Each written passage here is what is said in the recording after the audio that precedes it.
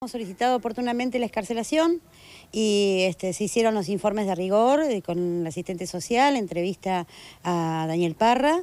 Eh, y, eh, luego de esto solicitamos una morigeración a la prisión preventiva. la jueza resolvió en forma conjunta, presentada ambas, decidió darle el arresto domiciliario al chico Daniel Parras.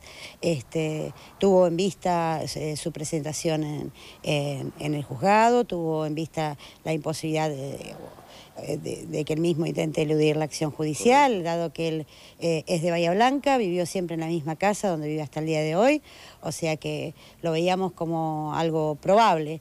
Eh, ahora ya no, no, lo asisto más desde, desde el mismo día de la resolución que nos enteramos que ellos eh, habían tomado la decisión de cambiar de abogado. Cambiar de abogado. Pero doctora, básicamente se apoya la resolución del juzgado de garantías en que no va a haber un entorpecimiento de, causa y no hay peligro de fuga. Sí, la, resolución es clara, es decir, eh, tomó en cuenta el informe del asistente social donde dice que la, que la familia este, es una familia que está a la expectativa de, esperarlo y acompañarlo en este proceso, que el chico nació en esta ciudad, es de nuestro medio, se ha desarrollado y ha vivido siempre acá en las palabras de esta defensa, donde eh, dimos por, sentado eh, y, echamos por tierra cualquier posibilidad de fuga, que no, está dentro de la, de la cabeza del hoy procesado.